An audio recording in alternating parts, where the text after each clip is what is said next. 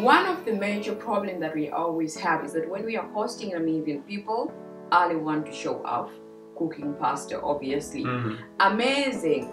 Yes, but don't you worry, that's where you find a compromise and you say, okay, if you want your porridge and chicken on your side and your plate, so because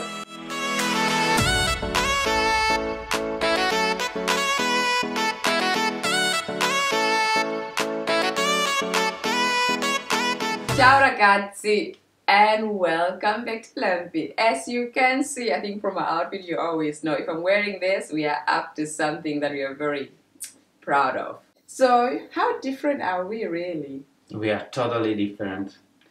Like we are from two different worlds, two different background stories, two different culture, two different countries, two different color, two different everything. Absolutely. So, for today, we really want to share with you some of those major differences that we kind of deal with. It, it's just some of those things, if you, at the beginning of the relationship, we feel like, no, it's not going to work. We are way, it's like too black and white. We are Mhm. going to talk about that.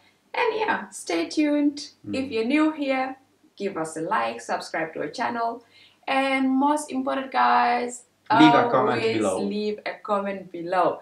Before we start with this video, I also just want to say we have already some videos, especially about our life at the village, that I'm just going to leave up here. In the description And also below. Also, another video I want to highlight here is our Tuscany vlog and our time when we are. So let's say the ba- the first difference really for us is when I talk about family, I think of my mother, my sister. Of course, we are only. If I just think of what people consider as a European family, we are only four. Mhm. But for me, family is my mother's cousins' children's children. Mhm. They are cousins to me. My grandmother's cousins' family, they are family to me. So I, when I consider really direct family, I would just say my parents. Like Mhm. then, on addition to that, I take the mother side, all my uncles, my uncle, my cousins, my Uh, even if he's a neighbor, his neighbor is also family in their neighbors culture. are also family. Like my neighbors' children that we grew up, we grew up together. Those are like family. Yeah, It's- that is like other cousins, even though they are not really blood related no, to but it's you. not but about blood. It's like you know, like those family from I don't know friends who became family. They just So- friend. That's for me family. Important thing. Obviously, you have to remember so many different names, but it's not really. It, that's not even important for you. Is you need to remember mother. Like you always, every woman you can say mother.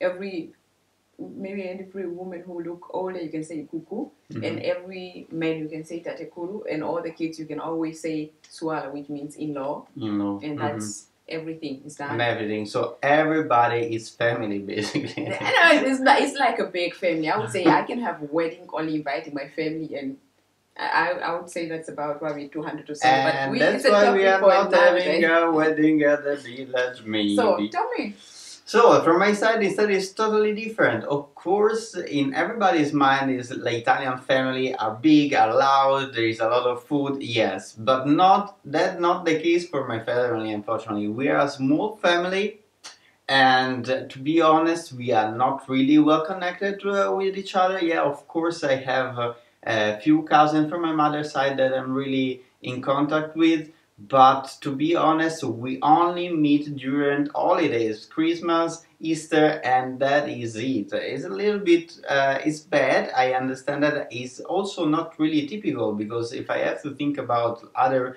uh, friends of mine their family is huge and they usually always find times for each other and uh, meet every single sunday or saturday so I'm really from a different kind of family, and I would say I'm not from a typical Italian family where every every single Sunday you meet with the with your family member and maybe you have a lunch or a dinner together. people especially around rome i would say family from italy i for you i would say about 12 people for me i would say this is 12 vc about 50 people so the almost Fifty or no more. more, almost so yes, small family too. You are now part of a big, Big family. family. Yes. Now, another thing that I really wanted to look at here, Mhm. which is like a fight of every day in this house, is Italian food versus African food. And sometimes we also do a mix. Some mix work well, some are total failure. But so when it comes to, I think the major differences, especially food for me as an African born and raised, for us, let me say pasta is kind of yeah everybody in Namibia eat pasta but for us we really I would say Namibian we eat a lot of meat. It's not because people don't know about vegetable but it's just the culture because we live in a desert and most people definitely just have animals. It's easier to keep animals than to keep and also like we have amazing meat production but we don't really have amazing uh, vegetable production because you need a lot of irrigation system and water all these things hmm which is not the same if you just have you know cattle or if they just have sheep and things like that. So for that every meal is always with more meat now one of the major problems that we always have is that when we are hosting namibian people they want to show off cooking pasta obviously hmm amazing It's not now, really the good. problem is you are not thinking in your mind that if there's no, let me say one portion, if there's no 100 gram, there has a minimum 100 gram of Mhm. meat per dish on that pasta, then a Namibian person just look at it as an incomplete meal. Mhm. that is the that's for me always a major thing. And then also oh maybe a little bit too cheese. Cheese is also not my it's, it's not like it's not my thing. Over time we have been together and i eat a lot of cheese now but it's not like a namibian thing really for maybe it's an african thing for somebody like me who grew up in the village. For those who Mhm. grew up in the city maybe they had always cheese around them. And another thing that i would say is bread all the time eating bread when you're Mhm. cooking dinner as part of your dish that's also something mm, outside my comfort zone No. and it's always when we are having guests bruschetta, something. Let's like let's think about something like pizza. Also, in Namibia is. I don't think people uh, would like to eat pizza in Namibia. yeah they do eat pizza all the time the only difference is that we have our pizza with spare ribs we have our pizza with chicken we don't have pizza margarita is like when we are broke buy some pizza margarita for yourself but we, we have our pizza with more meat like pasta bolognese is for us really you have real meat yeah, that you definitely. don't have a sauce And also, like I would meat. say, one of the, uh, the, the the biggest difference is like in Italy we have the traditional having so many different uh, uh, dishes in one meal. Like uh, you have uh, dinner and you have uh, starter, then you have first dish and you have second dish, and then you get uh, dessert. Then after dessert there is, uh, uh, of course, there is um, you know um, digestivo, which is uh, little shots of uh, alcohol. Then you have fruits, uh, and then if you after fruits you want coffee because then you are too full and you are sleepy and you don't and you don't know if you are able to drive. Then you take even a coffee.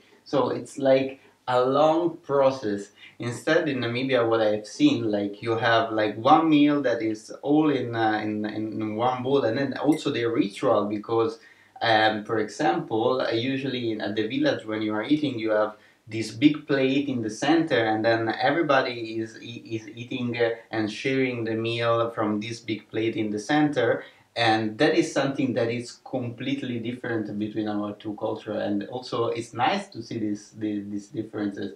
I, I think like the shock uh, of my parents when will they finally go to Namibia and visit the village and the first time at the village with your parents, that would be just amazing, I think. Yes, but don't you worry. That's where you find a compromise and you say, okay, you want your porridge and chicken on your side in your plate for yourself because you know, like you know, also when I took you to the village, everybody in the village, most of the people still have all these like plates, like in the city. In when they are guests, they just for us, you just don't use it until when you have guests or when you have a wedding. Mhm. Okay, what is here? The last point. This one, this one is going to break you or make you. So Mhm. when it comes to money, finances, this num this next point is one mm-hmm. of those like you want to go big or go home thing. Italian wedding versus Namibian wedding. Wedding. And if I look at our Italian wedding and how much it's it, it- we spend on the wedding, I would say to make a Namibian wedding, we would need about three to four times our budget to have a Oh, wedding. exaggeration. Yeah, uh, shucks. two or three Shucks, times how much a tent cost in the village, like the one that you have seen, like a village Ah, transformed yeah. into like a Las Vegas thing. You you have seen those things. How much? I don't Oh. know. A lot? Yes, and in Namibia you have you have two weddings literally. So you're not Okay. thinking of one wedding. Mhm. You're thinking of two different venues that are celebrating in the same way. Wow, wow, wow. And, and that in Italy we have like combined budget. We say ten thousand. That's it. hmm I mean that's so little if I think of in a Namibian wedding. Yeah. Yeah. So you put a lot of money in the, in the wedding, much more than us. It is everything because you don't want your neighbors making threats. Threats about what? if they didn't eat enough, you know the They're problem. to witch you or no, no. The problem is that it's not like the people did not eat enough. Uh-huh. Eating enough is not sufficient to satisfy your neighbors. hmm People want to eat until they can't eat anymore. Amazing. Most important, the second important thing for your wedding to be amazing is that people went back to their homes with enough food to pretty much eat the whole week. Oh. Yes, and also share with their neighbors. So let me say, you know, people are going back home with maybe 40 kilos of meat or things like that. Yeah, so you, so you it's know? a person that they are like we we usually have confetti. You know, the guests take uh, take a confetti. yeah, a confetti is like Yeah, it's, it's, it's like a know, little present. Maybe you have a nice uh, packaging, uh, and that that is it. Instead, in Namibia, you take 40 kilo of meat away with you, like alpha cow. You take 40 kilo of meat, and then they also want to take maybe, no, I would say, you know, maybe a carton of beer that's left over from the wedding, they take it to Mm, them. Okay, so coming to the presents, what what are the typical presents that you receive at the at At the the, wedding, at the wedding? you Yes. receive a lot, like, literally, like, traditionally, you just get everything you can actually use in your home. hmm So the wedding are attended by different guests from the city, from the village. People who live in the village will bring you everything like baskets, all this handmade stuff, clay pots, very nice stuff. Then people from the city bring you things like plates, plates. But it's massive, sweetie. It's massive. hmm Like I would say, my sister got married so many years ago, and even last time we went home, there were still boxes that are not opened, that are just plates. And baskets. Yeah, because if I think you can, And machete. Yes, but I'm thinking if you get, let me say you get about twenty different sets. You, I think you get even more than that Mhm. sets of plates because these are the cheapest wedding presents. hmm Usually you to give a set of plates. But you get 20 different of those that are Mhm. not your style because you aren't choosing. People are just bringing you stuff. hmm How long is going to take you to use 20 different sets of plates? Don't know. I don't know really. So it's, yeah. But yeah, it's a big thing. The other part is also the, the vibe around the wedding. It's amazing. It's amazing. Yeah. Italian wedding rather is Italian wedding uh, is I know. If I have to think about the difference, for first is time. Like time uh, in Italy, the wedding lasts uh, lasts one afternoon. Oh yeah, one like day. Let's say introduction the to the- wedding. You have one wedding day, like everything, all the ceremony, the lunch, uh, the after lunch, the dancing. It take place in one day. Why so short? I was really for my wedding. I was complaining about that a lot. Yes, I know, but we had some parties before and after the wedding, so yeah, but still, the wedding should start nine in the morning at least, especially when it's only one day. nine in the morning and the evening. Instead, in Namibia, of course, how how how many days does it last? Minimum You need a week of celebration. a week of celebration. Wow. You, when I was a child, I had beautiful memories of the wedding and my uncle's wedding. I would, I would even go a week before the wedding, Mhm. just chill there with granny. Then I also stay a week after the wedding. So the whole holiday I was at the wedding place, and it was nice. Mhm. As a child, you know, you stay there until also the wedding cakes because they have so many guests. Usually, the wedding cakes are not eaten Right at the wedding. Mhm. They are usually just eaten later, so for breakfast in the in, in that house where the wedding was. And usually, we have two, maybe three layers of of the wedding cake. Mhm. One layer it goes to the to the bride side. The other, the second layer, goes to the groom side. Then the small layer, usually on the top, is for the two people that got married. They can take it to their new home and share with their friends. Or, and then some people keep this wedding cake for ten years. For ten years. Oh, you know, like waiting for anniversary if you divorce in the I'm just wait. I'm thinking after ten years, uh, you probably can Brick. use that to build your house as a brick. as a brick. I don't know. It's just Yeah, ten years with a wedding cake. in I think the you know things that people make you know things that uh, people sell you. Yes, don't you worry. Spend so much money on the cake; it lasts for ten years. What the hell do I want to do with a cake for ten years? years, to be honest. But those are the- That such things make the wedding cake expensive.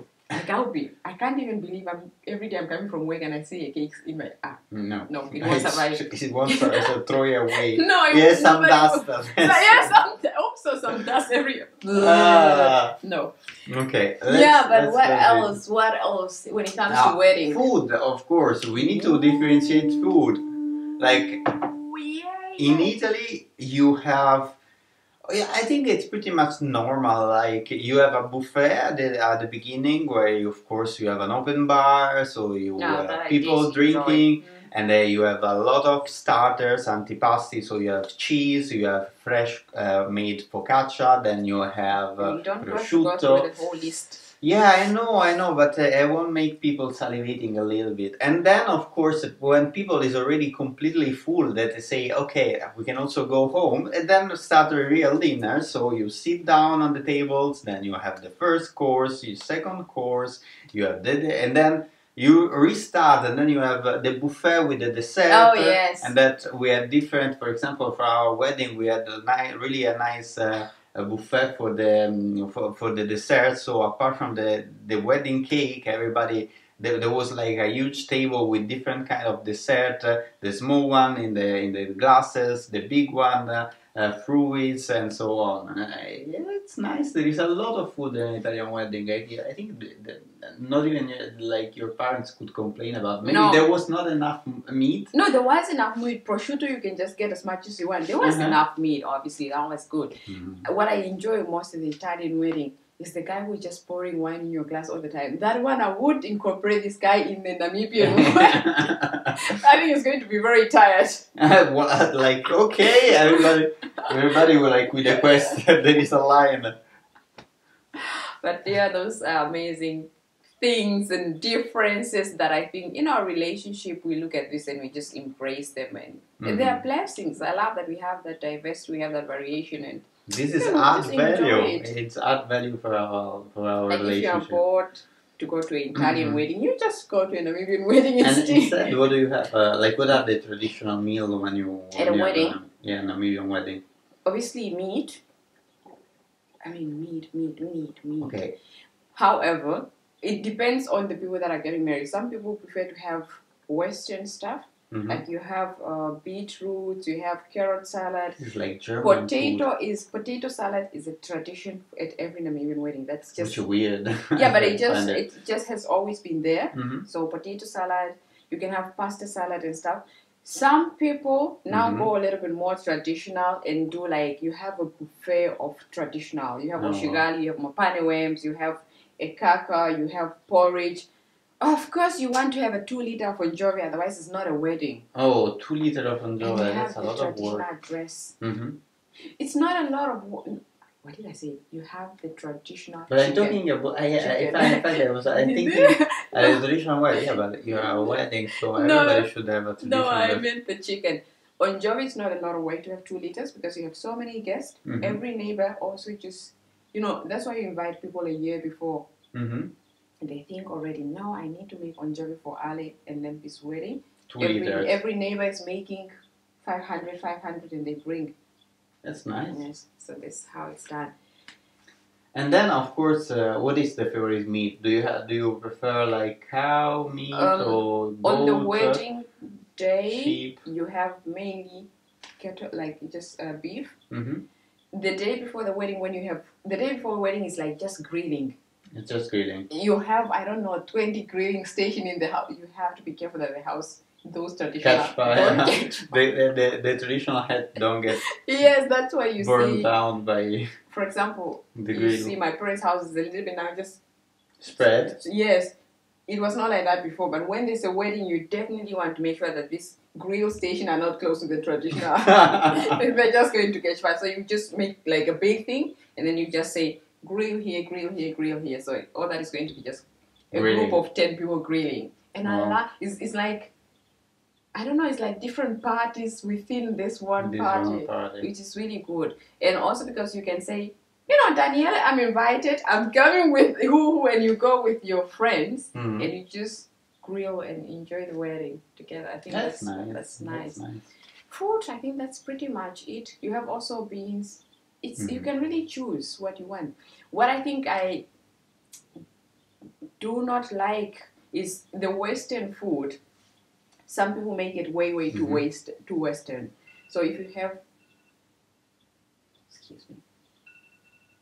If you have like beetroots, if you have things that are a little too exotic, they won't really be eaten. Maybe only by a few people from the city. Although sometimes also people from the city they haven't seen traditional food in a long time, they want to eat the traditional food. They might also end up being eaten by the pork. Oh wow, that is a waste of food. Especially Yes, that's the the only thing. Because I remember last time I went to a wedding and I came back with there was a lot of beetroots that people just didn't eat, and I Mhm. took them home.